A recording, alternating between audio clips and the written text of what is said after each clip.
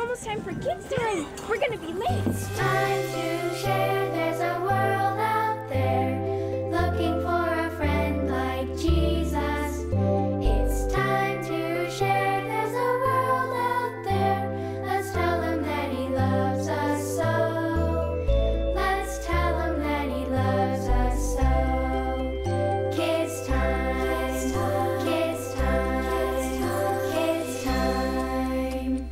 boys and girls. Are you satisfied with what you have, or do you always want more? When my friend Chelsea was little, she would wake up in the middle of the night crying, and her parents couldn't figure out what in the world was wrong.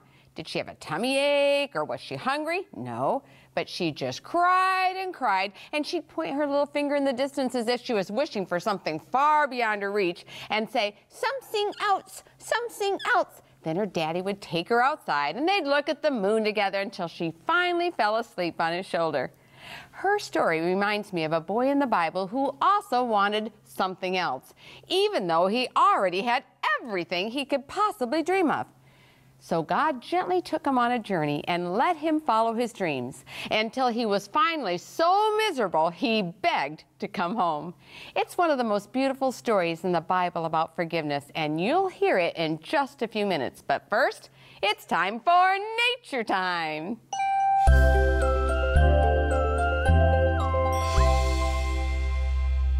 Hi, boys and girls. Welcome to Nature Time. I am so excited today. We're in the beautiful country of Australia, and I'm feeding kangaroos. We're here at the Gold Coast where it's so beautiful, but today we're at the Wildlife Sanctuary, and we're with an expert, Tennille. I'm glad you're the expert because all I know about is our kangaroos. Well, I'm Australian, so I hope that I have a little bit of knowledge with them. But yeah, kangaroos, they're very known for being in Australia, and I guess you could say they're just like every other mammal in Australia. They have a pouch, which remember, remember what we were talking about? What is a mammal you- with a pouch called? I think you said marsupials. marsupial. That's a hard word, kids, marsupials. And what does that mean, Tennille? A marsupial mammal with a pouch. So, Mammal with a pouch. Okay. Well, that's pretty cool. So they have their young, and do they have just one, or how many do they have? They have one, and what happens when the mother gives birth, the baby uses its very powerful forelimbs and climbs all the way up into the pouch. Oh, wow. And that's where a teat will be waiting, and she feeds off that and gets her milk, and she grows and grows and grows. And you might be able to see a few kangaroos behind us. They actually have their baby, and it looks like it's falling out of the pouch, but they're still they're still young enough to be in there. Now, tell me if I'm right, but from my understanding, they have a name for these little kangaroos in the pouches. Are they called joeys? They are. Joeys. They are joeys. Everyone knows the kangaroo baby to be a joey, but in actual fact, a baby possum in Australia is called a joey. A baby Tasmanian devil in Australia is called a joey. So we do have every every baby marsupial is a joey. See, kids, Ranger Dwight didn't even ever know that. Well, that is so neat. Now, I have a, I have a question I've always wanted to know. Do you know how high a kangaroo can hop? A kangaroo is more about hopping forward Okay. than jumping up. So Okay. that's uh, that's how they get their speed. So when they hop, they can jump, but you can see how how how big they can actually stand, very oh, high. absolutely. But what they'll do is they'll use those that tail and those powerful limbs and they'll leap forward instead of upwards. And so that's to, you know, run away from any predators or to just move into another location. Well, now these kangaroos are seem to be awful tame. Kangaroos don't want to hurt human beings, or they seem nice to me anyway. Well, these guys have no reason to run away from us. We have all the good stuff, Uh, the all food. the food, and the shelter and the love. So in the wild, they would scatter. They would run away from us. How we would be long? a predator. How long does kangaroos live? Kangaroos? I'm not sure, but I guess they would live a very long time. I in captivity, they would live longer than that what they would live in the wild. Okay. And that's because of a lot of things they have to face in the wild compared to being safe here. Well, what what kind of predators do they have in the wild? Just like the lorikeets and every other native Australian animal, dogs and cats are a very Really? big thing. What happens is when a dog or cat chases a kangaroo or or a, a marsupial for a fact, they can do they can actually abort their baby. So they can actually throw their baby and that's for the fact that they're either trying to save their baby or save themselves. And so it's it's very sad. Not only only that, but they go into what we call myopathy, which is they are that scared that it can actually kill them. Unfortunately. Really? Did you hear that, kids? Who would want to hurt a kangaroo? No. Can't even imagine. Not only that, but of, of course, we put a road right in the middle of the bush. They see the road, they don't know what it is, and that's when they get hit by cars too. Oh, that's terrible. Yeah. Well, I'll tell you, this has been awesome. I just love this, kids, with kangaroos.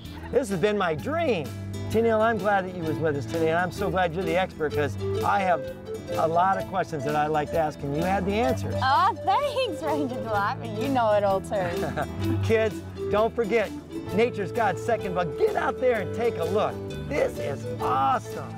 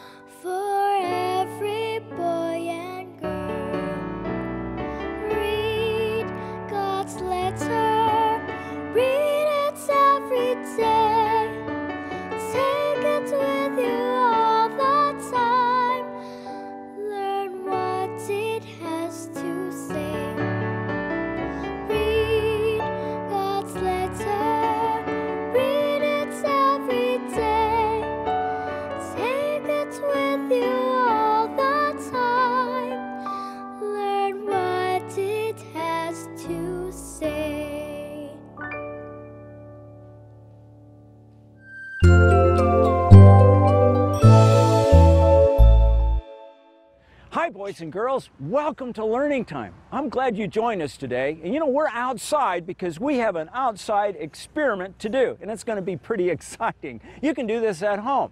So I'm going to need some helpers, and I have Joseph here, and I have Kelly, and I have Hannah. And they're going to help me today. We're going to wear some safety glasses. So let's go ahead and put on our safety glasses. And you know, we've got some sodas right here. And you know, part of what is in a soda is water, isn't it? Yeah, it's in water. Well, what we have in these sodas, we actually have some gas that is dissolved in the liquid. You know, when God made water, He made water so that we could have dissolved oxygen in it. And that's pretty cool, right?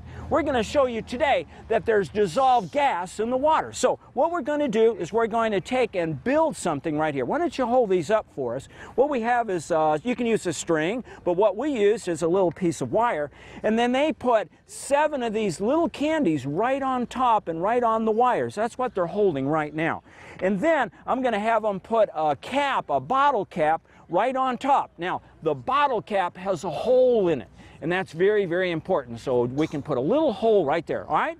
Now, what I'm going to do is I'm going to go ahead and let's open those real slow. When we open them up, you can hear a a little air. Air is coming out. Now, what's coming out is carbon dioxide. Now, carbon dioxide is in sodas, and that's why it makes those fuzzy bubbles. You like fuzzy bubbles? Yeah, well, you know that carbon dioxide happens to be not very good to our, for our bodies because what it does is it depletes some calcium. So that's what it's really not that good for us. Now, what we're going to have them do is simply this.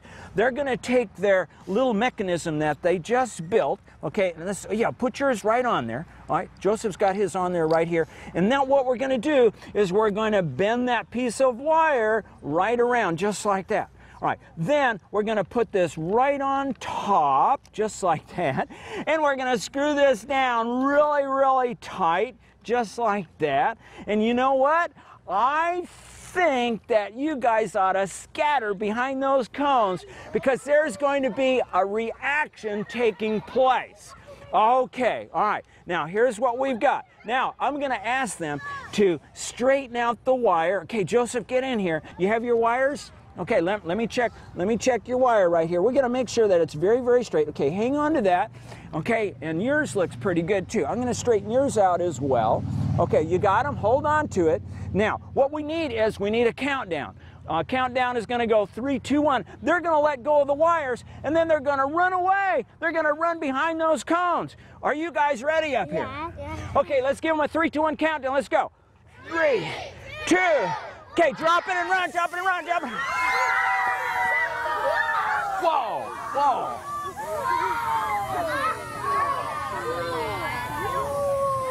Wow. Did you see that? And it's still going. Look at that. It's still going. Wow. Look at all that pressure right here. Okay, all right, hey, we can come back up here. Come back up here a little closer. Let's not get all wet over here, but let's talk about that. Where's my helpers? Where'd my helpers go? Did they disappear? Oh, they're here. Oh, don't, don't touch the table because it's all sticky because we got all that soda came out. Now, that is interesting. You know what? All we did was we put these little candies, didn't we? Put the candies in the soda. We had a reaction. Just the little candies reacted with the carbon dioxide. It made the carbon dioxide come out of the soda, caused a lot of pressure to go into the bottle. And where did the soda go?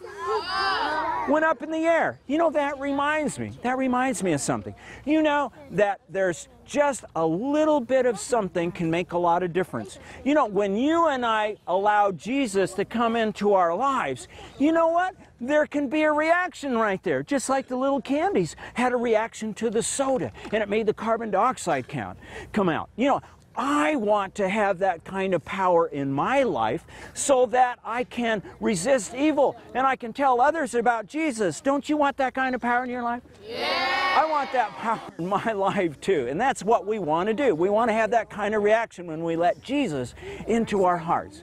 Now, every time we learn more about science, we learn more about our Creator, God.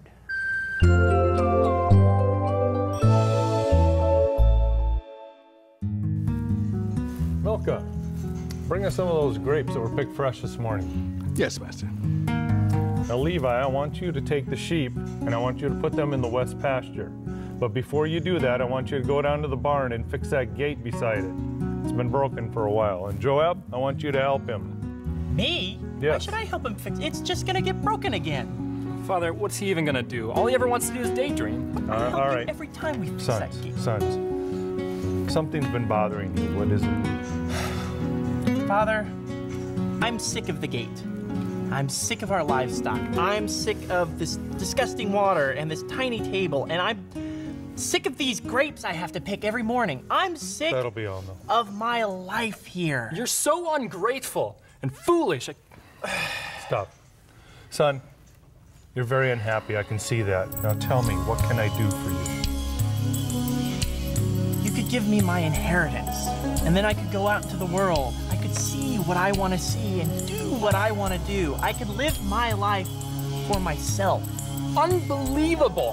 How could you even think to ask such a thing? You should be punished I even just for the did. thought. Levi, I- Levi, sit down. Milka, bring me the box. What? You're not serious. I think he is. No, Father, this is such a bad idea. You, don't can't know possibly that. How can him you know it'll be a bad idea until we try it out? because everything with you is a bad idea. It's my inheritance. Not yet, though. It will be shortly. You're unbelievable. Father, this is an excellent idea. I, I won't let you down. Father, please stop this now. Excellent. Here Excellent. you are, my son. Why? Is is this all of my inheritance? Can't be serious. Seems a bit light. Yes, all of it. All of my inheritance. Yeah, it won't last long, anyways. Nothing lasts We'll long see with about you. that. Yeah, we will. Are, my son. Thank you. Melka, my things. Be careful, my son. Oh, I will, Father. I have great plans for my inheritance. I'm going to see so many things, go so many places. There are many dangers in the city. I'm sure, Father. I'm, I'm well aware. Thank you. Well, Father, brother, Melka, I'm off. Have fun fixing the gate and tending to the sheep, You ungrateful brother. swine. Be careful, my son. Feel free to fix this door while you're at it. I'll be praying for you.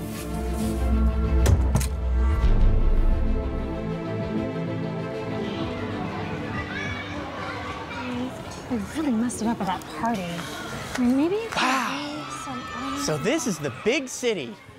I'm gonna love it here. Hi, how are you guys doing? I'm Joab. I'm new here. Hi. Nice to meet you. Um, you are a stranger because you're not going to get anywhere in this place. We with don't like like strangers that. either. We don't. It's just, you know, you need to leave. I, but I just got here. Why? Time for you to go. Sorry. But I I planned on moving here, and I, I brought all not- my inheritance. And is that money? Yeah, I got lots of money. Oh, well. in that case, um, I guess we could uh, take care of you. That's great. If, if- do you know anywhere where I could stay? I And even have a place for you to rent. That's great. I'm gonna need some new clothes. And I was thinking maybe we could have a party later. Sure. I mean, Thanks. We'll show you around. After you've been here for a long time, you'll know just how everything works around here. Wow, I'm so lucky to have met you guys. Hey, I'm Joab. Nice to meet you guys. Hey, I'm gonna be throwing a party later. You guys should come. He's gonna show me where it's gonna be.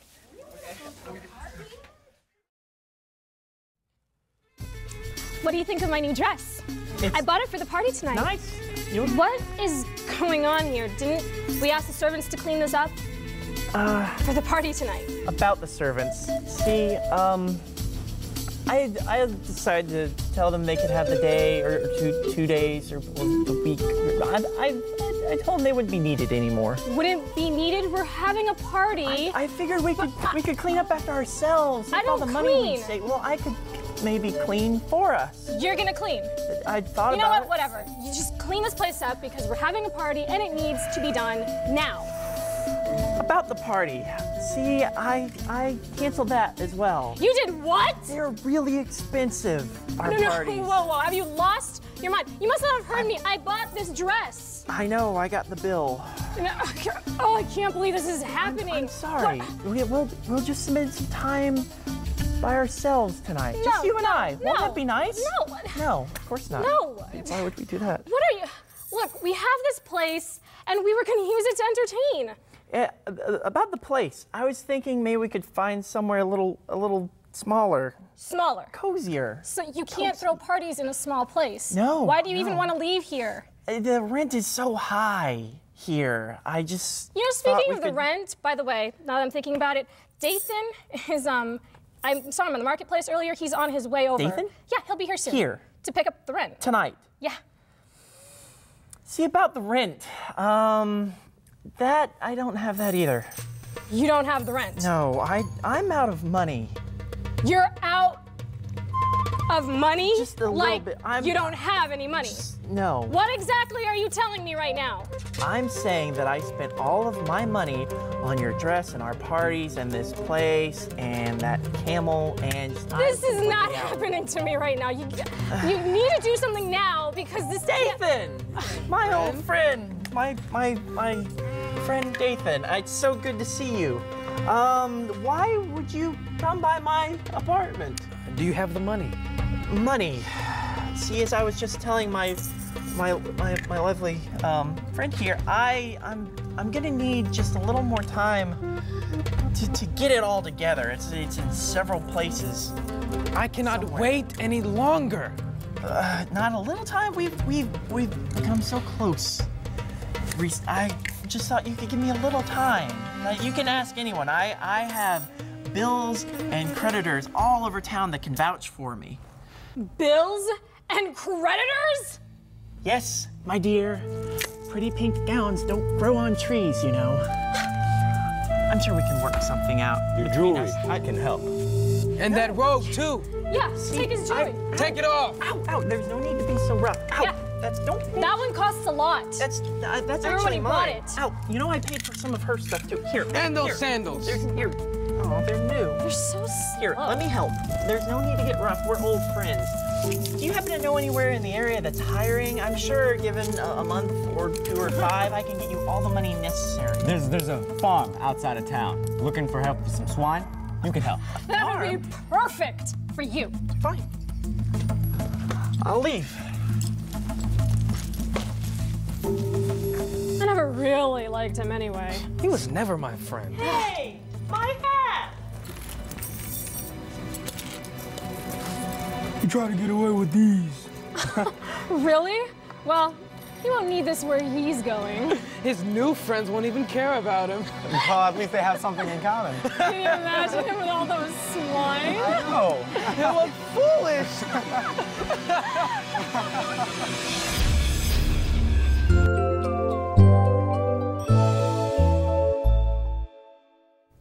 It's time for Miss Brenda's Book of the Day. And today's book is my very own book. It's called Miss Brenda's Bedtime Stories, Volume 3. There's five books all together, and this one is Volume 3. And not only is there a book, but there's an audio book too. In this book, there's so many uh, wonderful stories to help you want to be more like Jesus. And take a look, you can see all the beautiful colors throughout.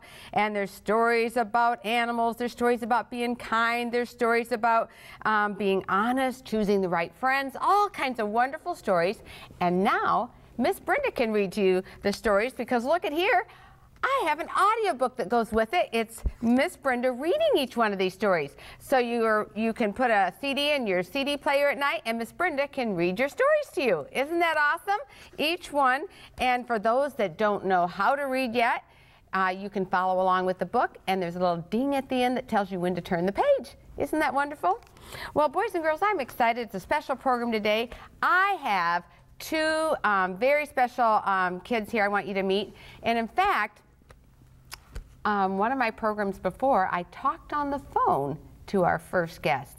Let me introduce you to JD. Hi, JD. Hi. And you brought your sister Amber with you. Hi, Amber. How are you? Good. And I was sharing with the boys and girls on one of our programs before. I talked with you when you were on, on phone only. You weren't here, but I talked to you on the phone, and you were all the way over into what country? Taiwan. in Taiwan. And in fact, you're wearing outfits from Taiwan, aren't you? And I invited you to come back. You were missionaries in Taiwan. And I said, when you get back to the United States, come and be on sharing time with me. And what did you tell me? Okay. You said, okay. And here you are. Tell me, JD, what do you do to share Jesus? I help my dad lead action songs and I make friends and let them know Jesus loves them. Well, yes, you do. And in fact, you had a particular um, a hard time when you first went there with some kids that were kind of being mean to you. Tell me about that. The first, the first, when I got off the plane, I didn't know any Chinese, and then one day when I was, then I learned, You learned some of the phrases? then I learned one word, one sentence, Yeshuaini.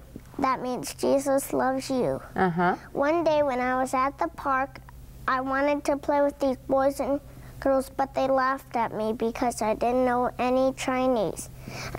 One boy wanted to fight with me, but I said, but I tried to explain I was a missionary, but he couldn't understand. You tried to let him know you didn't want to fight, did you? Mm-mm, no. So what happened? And then I said Yeshuaini. Then he didn't want to fight with me. Because that means, Jesus loves you. and so when you told him how much Jesus loved him, he didn't want to fight anymore. Isn't that an awesome story, boys and girls? I love that. That was surely sharing Jesus right there in that playground, wasn't it? Yes. And uh, now, uh, Amber, do you know any um, Chinese phrases you can say? Ni hao ma. What does that mean? That means how are you? How do you say that again? Hello, how are you? Hello, how are you? Can you say that again real clear? Ni hao ma. Oh, that, and do you know any other words? Any other phrases? No. No? But you know how to say Jesus loves me. Yes, Ronnie. Okay. And what do you do to share Jesus? Hey, help my mom cook food. You helped your mom cook food for other people, and I think you sang songs too, didn't you? Yeah, if you're a little bit shy on kids' time, and that's all right, because Miss Brenda can talk instead, all right? it's not a problem. And I'm just glad you're here, and I love what, what the outfit that you're wearing um, is. Um, del- did you see any other boys and girls when you were there that were dressed like these? No. No, they wear Western clothes there most of the time, don't they? They, they wear the blue jeans and the regular things, but these are kind of nice, fun outfits to have, and I probably on special occasions, boys and girls would wear something like this, would you think? I do too. Well, let me read a couple letters um, uh, here, and let's see. This one here is from Hartwell, Georgia, and uh, oh, can you hold this picture up? I want you to just hold it just like that to that camera over there for me. Just hold it up a little higher if you would. And um, let's see what he says from Georgia. It says, Dear Miss Brenda, I'm seven years old and I love Jesus with all my heart. I have a storybook that someone gave me and I read about it. It's Bible stories and I like to hear the stories. Thank you for Kids Time. Sincerely, Sean Aaron. Sean, I'm so glad that you enjoy the program. Keep sharing Jesus, won't you? And let's see, we got. Um, Another one, this one is from, I'm not, oh, it's from Botswana. And it says, Dear Miss Brenda, my name is um, Draytile. And it says, I'm from Botswana and I love Jesus and I want to have the kids' time, please. It said, um, I want to learn about Jesus while I am still young. Thank you for your part of doing kids' time and I love story time. Thank you, JD and Amber, for being with us today. You keep sharing Jesus, won't you? Well, that's all the time we have today. Until next time, remember it's kids' time to share Jesus.